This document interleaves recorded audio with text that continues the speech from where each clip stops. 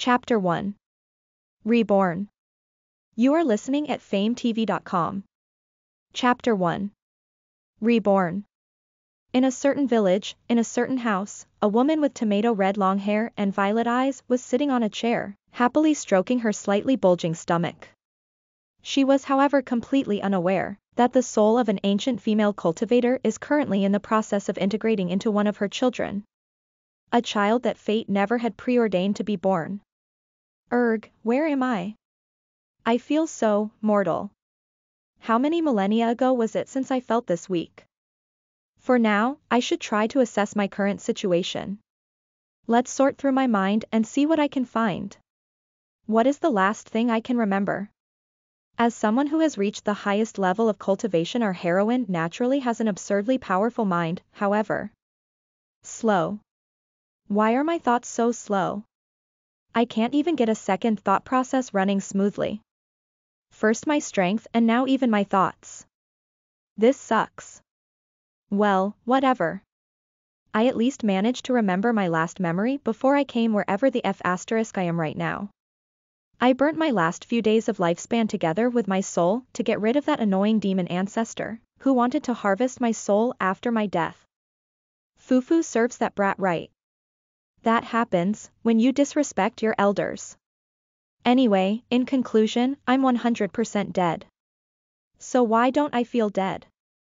For strong cultivators it isn't completely impossible to survive burning one's remaining lifespan, however burning the soul usually is a 100% death sentence. Well first of all let's try, divine sense, great that one seems to be gone as well. Divine sense is unlocked when someone ascends from being a demigod to being a full-fledged god.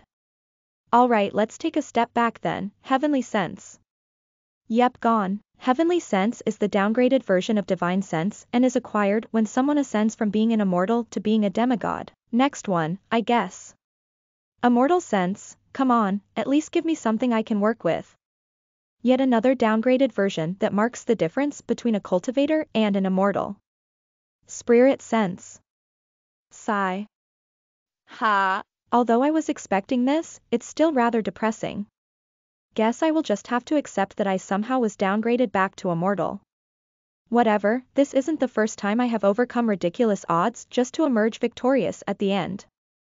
This time I at least don't have any crazy cannibals, demons, cultists, or fanatics breathing down my neck. Well, at least not yet. I managed to rise from mortal to god once, shouldn't be that hard to do a second time. For now, let me check out the situation in a mortal way. Then for the first time in this new life, our heroine did something she hasn't done in a long time. She, instead of using her sense skills to scout the surroundings, attempts to use her eyes just to. What the hell is this weak-ass body? I can't even open my eyes, fail miserably. Okay, okay, okay, calm down. No need to panic. I got this. Smell. Nothing. Sound. Something muffled in the background and a rhythmic booming, better than nothing, but still not really helpful. Taste. Nope. Touch. Um. I'm swimming. Wait a moment. I'm swimming in something. Most of my five senses don't work. That rhythmic booming. Is that a F asterisk ing heartbeat? Am I a F asterisk ing baby? And thus, starts the story of Yuna Uzumaki, previously known as Yuna Kayanipagos, Goddess of Ice. Listen to the full novel at fametv.com, direct link in the description.